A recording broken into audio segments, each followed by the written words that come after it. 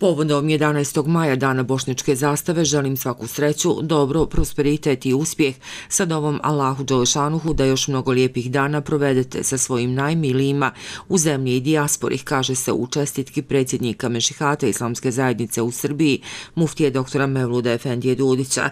Neka je Mubarek dan Sanđačke zastave svim bošnjacima koji žive u Sanđaku, Srbiji kao i onima koji žive izvan svoje domovine u dijaspori.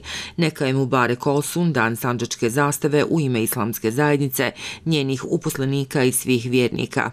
Okupimo se danas oko Bajraka koji se visoko i ponosno vihori i uzdiže nad Sanđakom, štit je i putokaz svim bošnjacima diljem svijeta, poručuje dr. Jahija Fehratović, predsjednik Matice Bošnjačke. Bijelina Bajraka simbolizira čistotu misli, nijeta i djelovanja, dosljednost vrijednostima i okrenutost prema Bogu, sebi i drugima.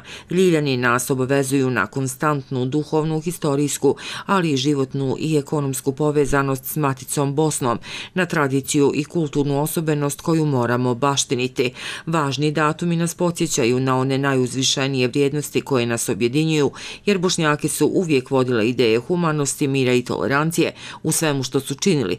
Ponosno, dostojanstveno, nepokolebljivo, svjesni svoje autohtonosti, korijena i osobenosti, poput naših predaka na stećcima, bošnjaci moraju krenuti ka ostvarivanju svojih individualnih i kolektivnih prava. U tom svjetlu svim bošnjacima u Srbiji, ali i rasutim po svijetu, sretan dan Bajraka, naglašava dr. Fekratović, čestitajući 11. maj dan Sanđačke zastave.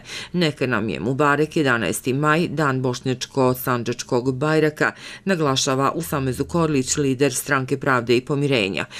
Gradonačelnik Novog pazara Nihat Biševac čestitao je bošnjacima dan bošnjačke nacionalne zastave.